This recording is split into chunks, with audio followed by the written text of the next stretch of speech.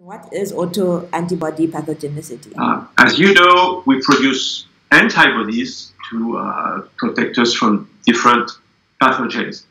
But we know for a long time that we also produce autoantibodies that are antibodies directed against some self components. Having a small amount of autoantibody does not necessarily mean that you have a disease, but some of these antibodies cause disease. And so the pathogenicity of autoantibodies is the fact that some autoantibodies can cause disease. So if you want an example, the best example is a disease called myasthenia gravis. Uh, in this disease, you have autoantibodies that target the receptor for acetylcholine. And so uh, if uh, you have a blockade here, of course, the transmission of the neural influx to the muscle is blocked, and it gives you some time of paralysis. And what is uh, important here is that if you have the autoantibody, you are sick, and if you don't have the autoantibody, you are not. And how do we know that? Because of, uh, of the mothers uh, who are pregnant, so the IgG can go through the placenta to uh, the, the, the fetus, and the newborn can have a neonatal form of disease. So it means that if you transfer the antibody, you have the disease. But now the baby is not sick because he does not produce the autoantibodies. So he will get rid of these autoantibodies and he will not be uh, sick anymore. Mm-hmm. So it really tells us how uh, antibody can be pathogenic. And we have numerous other examples, like autoantibodies that can uh, target red blood cell and give you hemolytic anemia, or the platelets, or well, we have other examples, the muscle we may be talking about mm-hmm. also. So we are interested in a group of rare diseases that affect the muscles. So collectively, they are called myositis.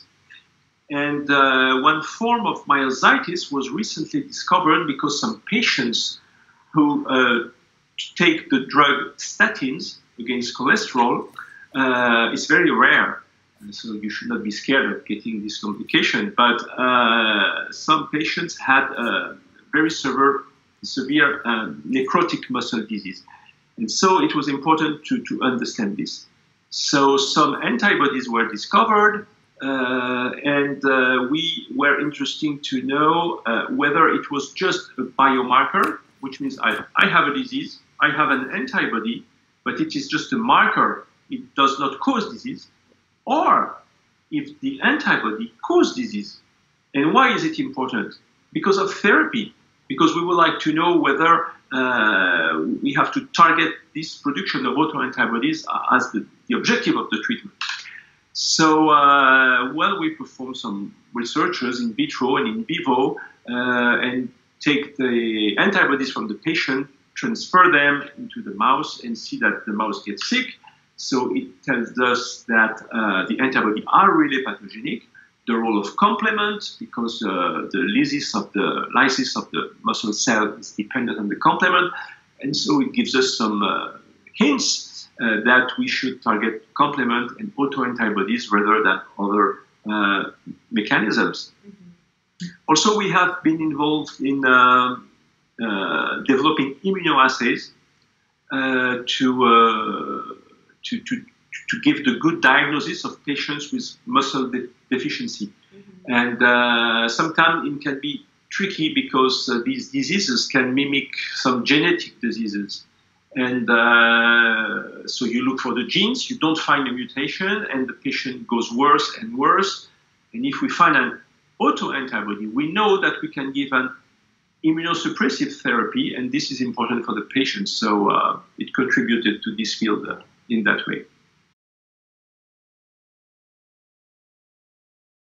well, it's not ELISA. We like the uh, what is called Albia, uh, and it also refers to Luminex. Mm-hmm. It is a form of cytometry where you have beads, the antigen on the beads, and when the antibody uh, binds to the bead, you can detect them.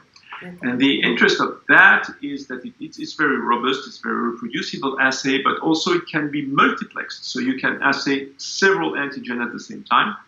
So uh, it, it is uh, it is the way we prefer. But now uh, some commercial tests are available with different techniques, mm-hmm. and uh, it is uh, getting uh, more and more uh, easy to assay these antibodies. But at one time, um, I received the, the, hospital laboratory many serum from over Europe and, and the world because we, could assay these antibodies before there was a test available.